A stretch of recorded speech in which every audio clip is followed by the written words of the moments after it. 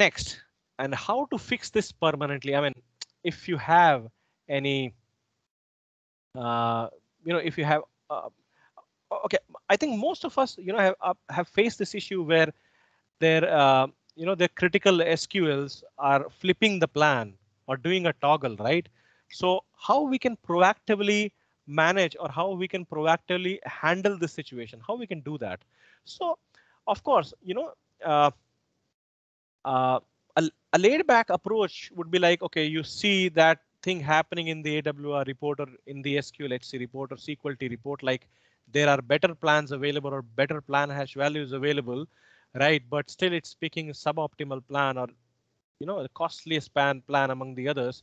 So uh, of course, you know, in that case, uh, the laid back approach would be like, OK, you go and you fix it manually, right? You check for the best plan which is there in available for the SQL ID and you fix it using COEXFR or uh, uh, you know DBMS underscore SPM method, right? So what we're seeing right now in the screen is how to fix uh, the plan permanently for a SQL ID where the plan flip is happening. But that's a laid back approach, right? But what uh, is there anything what we can do to proactively, you know, manage the situation? So, uh, you know, I have few scripts.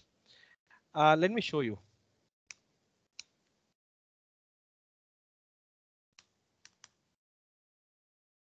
Now, what is this SQL? So this SQL is, uh, you know, is basically queries your views db underscore hist underscore SQL stat and db underscore hist underscore snapshot. So I basically doing, it's a very simple query, by the way. What I'm doing, I'm just I'm doing nothing. I'm just doing a join between, you know, DBA hist SQL stat and DBA hist snapshot, right? I'm taking average and I, I'm actually uh, deducing or um, uh, uh, getting the normal standard deviation from it, right? So let me explain the output. So for example, if you want to examine the SQLs uh, which have a different plan hash value and have executed once in the database. So this basically provides you information on the basis of that, right? So for example, if I check this output, so here is this is this SQL, which in total got executed 32 times during the entire duration of the AWR retention, right? For example, you have AWR pool retention set to 30 days. So in the in those total 30 days, the SQL got executed 32 times. And the whenever it got executed, and so minimum time it took to complete not even a second, few ms only, right? But the maximum it it actually took 23 seconds to complete. So if you compare or, or you or you if you deduce or if you uh, get the standard deviation, you will get something like this, like 30,701 is the normal standard deviation or an average. I mean, that's basically average between column three and column four. I mean, that's the uh, deviation between minimum elapsed time. For example, it hardly took a second, not even a second, few ms only. But uh, at, at the other time, the same SQL got executed and took 23 seconds to complete. So if you get the normal standard deviation, what you can do, right? And uh, you will get the standard deviation. So this says 30,701. So this is pretty expensive, right? But if someone asks me like, uh, because in total, it actually pointed out 35 SQL. So it's not possible to fix each one of them, which will be the most critical here. So what I'll do, I'll go and check this and for the SQLs which got executed maximum number of times and where the, this uh, difference in minimum elapsed time and maximum elapsed time is huge. So, but but yeah, the first attention of the first point uh, will always be the execution. So, for example, if we compare this SQL, this this SQL, it got exe uh, executed 171 times, right? And let me check the retention.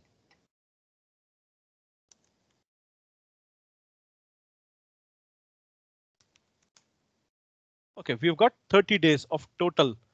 Uh, no, sorry, retention is 15. So in short, in, in a period of 15 days, this query got executed. How many times? 2200 and sorry, 1071 times. And uh, it the, the minimum elapsed time this query took uh, got executed, I mean to say, was under a second, right?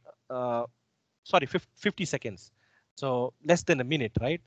So, but maximum it took is five minutes. Uh, I'm so sorry. I'm so sorry, five seconds, 63 ms, right? So this one, if you check, it actually uh, taking less than a second to complete, right? So if you calculate the standard deviation, it's uh, it will give you this value of 5.2.1. So this will be the first candidate for me to fix this, right? What will be the next one? Uh, uh, maybe this one, right? Though it's the differences seems very less, but take a look at the number of executions. So within 15 days, this query got executed 2,283 times, right? And minimum it took, you know, 0.19 second and maximum it took five seconds to complete. So let me take an example, right? I have this, this SQL, I named it as one.sql. I have another version of this, right, where it actually asks for the SQL ID. Here, if you take a look, this SQL ID has got three different executions. And with this plan hash value, the SQL got executed single, only one, only once. And this, this is with, you know, 0.505 second on an average it, it takes to complete. And out of that, uh, almost 99% it took on CPU. And take a look at the PIOs, the physical read or disk reads. It's it's taking nothing nil. But yeah, there are a few logical input outputs or memory scans or memory reads. But yeah, it's it's it's one of the best plan. Eh, not a not one of the best. I mean, this is the best. I mean, uh, best possible plan what this SQL should follow. But due to some reasons, uh, only single executions was happened using this particular plan hash value. And most of the executions happened with this plan hash value, which is pretty expensive in terms of average elapsed time, in terms of CPU usage, and this one got PIOs as well or disk reads. Any questions?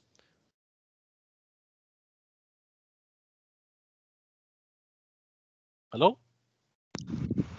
No question. You're finding it interesting, by the Yes, way? yes, I mean, yes, yes. This is pretty interesting topic, right? Because many Hmm. of the in many of the projects you'll see, you know, SQL is, you know, Mm. yes, is is behaving a little weird. So in, in one morning, it the same SQL is, you know, is com getting completed in only one second. Day. Another day, you you see like the same SQL is now completing or taking 15 minutes. Yes. right so this is the proactive way how you can handle this situation right if you want i can provide you these two scripts right? So accordingly you can take actions maybe after every you know i remember like there was this i mean in my last organization in my last company uh, there was this very unstable you know um, environment. So that database was actually running on 11g release one. That itself is pretty buggy. So the every now and then because the application team is you know is very poor uh, in writing this their sql code. So that's why I mean uh, you know we are getting a lot of uh, you know plan flip situations there. So a customer asked me like if there is any any chance or any possibility to proactively um, uh, handle this situation. So that's the time um, you know I actually uh, took help of these two scripts. And uh, so every 15 days or so, we identify the SQL and automatically uh, we fix them. But Okay. this is a temporary fix, by the way.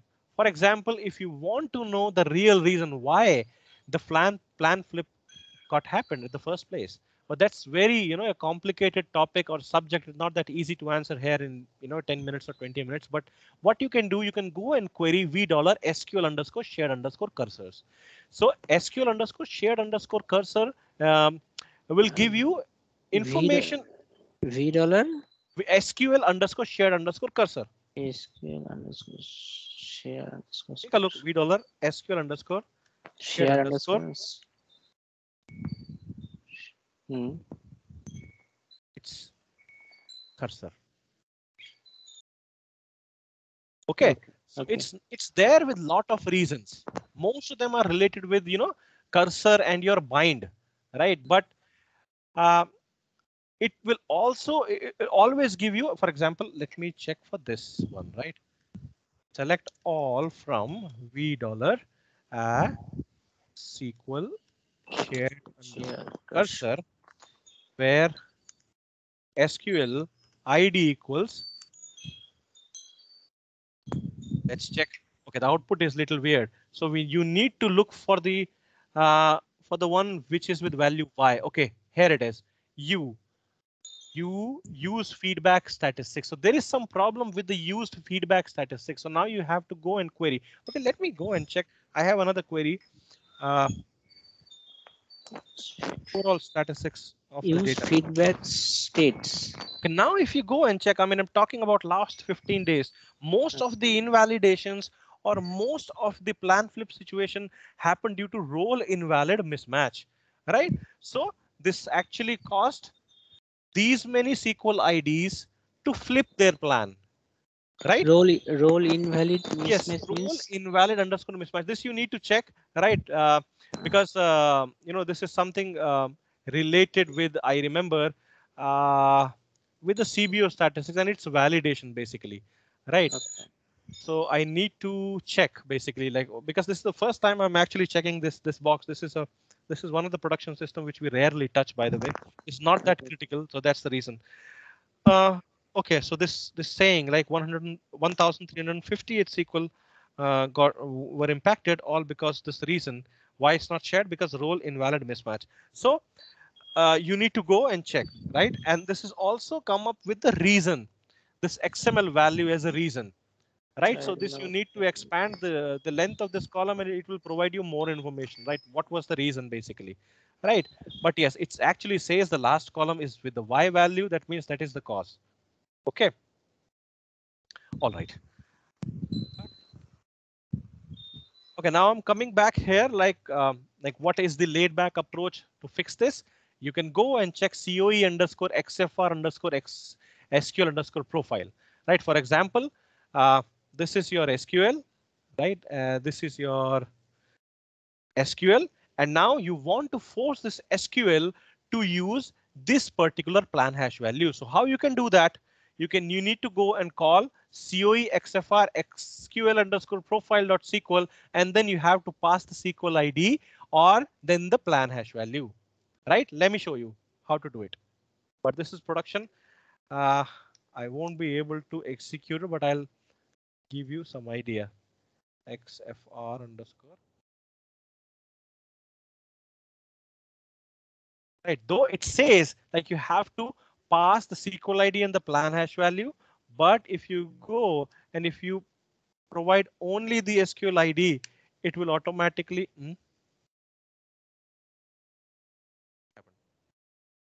Oh, no need actually. No no no that's that's wrong. Yeah. So it has picked the sql id now it itself will provide what happened there is some problem with it. It says it's not there in memory and not even DBH SQL plan. Oh, I did a mistake. Oh, sorry. I'm extremely sorry. Uh, XFR.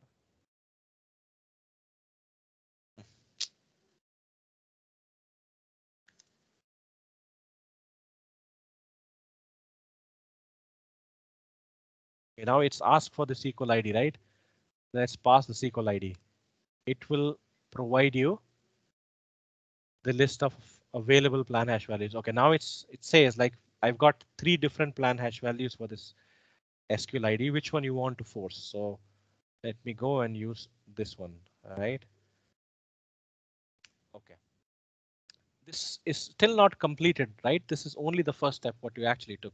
Now, because at the end it says you to execute this script which has which, it actually has generated for you, right? So if you go and do this, then it will automatically fix the plan uh, that the plan hash value with the SQL ID. But So as I said, create the baseline. yes, yes, this is baseline. That's absolutely correct. Yes, okay. right. So this is how you can do or fix the plan using COEXFR SQL profile, right? So that was the first step. The second step demands you to execute this query because if you go and if you see now, you see another file got created, right? So this one you need to execute. So once you execute it, that plan will automatically. Uh, I have one question. In Yeah. our case. In our case, uh, you have seen the lots of uh, values there.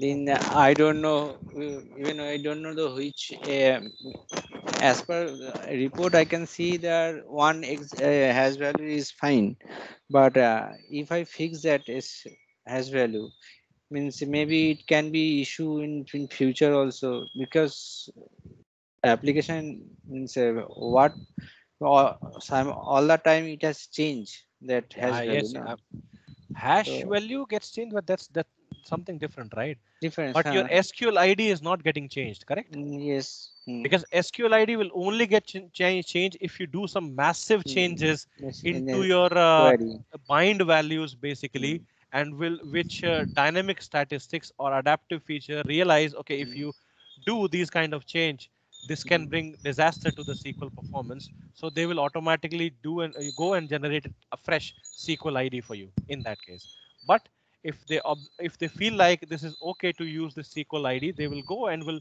use the same plan plan hash value which you have fixed right Okay, so okay. until unless you are doing some big or massive changes to the SQL or, the, or, or to the bind values, uh, it's not going to you know uh, change anything for you. But if you do some restructuring, for example, if you do, if you change something in your clause, your SQL text itself, then of course it will produce a new SQL ID, and there is no sense of using that old one because that old SQL ID was for a different SQL text. If you, even if you uh, you add a single quote or anything, that will be treated as a new SQL, and new SQL ID will be generated, right? Yes. Okay, so that's how you actually, you know, uh, fix the plan. I've shown you how you can do proactively, how you can do using the lazy approach. Uh, so I've shown you how to do it using COEXFR SQL underscore profile. Another way to create it using DBMS underscore SQL tune, right? That can also be used to create or to, uh, you know, to create the custom profiles. SQL uh, baseline. So this that's how you create, right? DBMS underscore SPM load plans from the from the cursor cache. For example, you have the plans that is available in the cursor, right? You have the pla- you need to pass the plan hash value and then the SQL ID, and then it's it will be fixed. Then uh, another one is the use of ash or historical views.